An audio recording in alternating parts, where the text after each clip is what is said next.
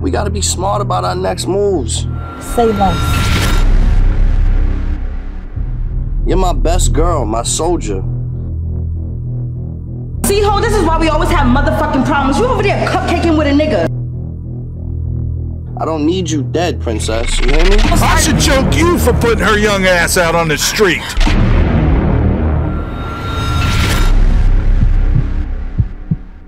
Julie, you could have gotten us both killed tonight. Yeah, sit your hot ass down. Nobody, including you bitches, will talk down daddy or this house.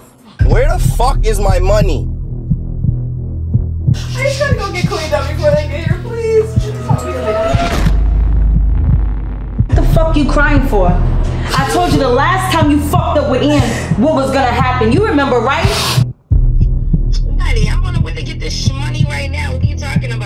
Yo, I like to hear that and all, but I told you motherfuckers to stay out of Asia's spot.